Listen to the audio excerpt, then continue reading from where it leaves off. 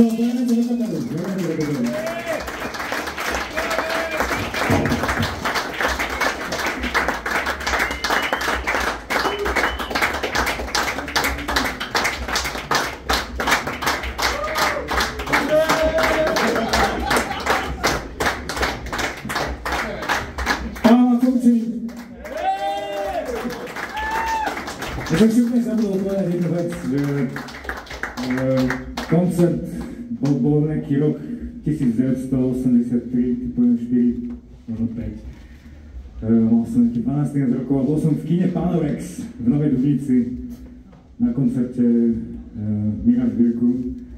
A dodnes si presne pamätám všetky kontroly pohybov Láca, ktorý mal, uh, ktoré mal na ľavej strane. Skutočne som nikdy netušil, že uvažim 50 konto, mi ste vrlo na podiju. Užasne razgupanja, rekao je kancler, vikala sam.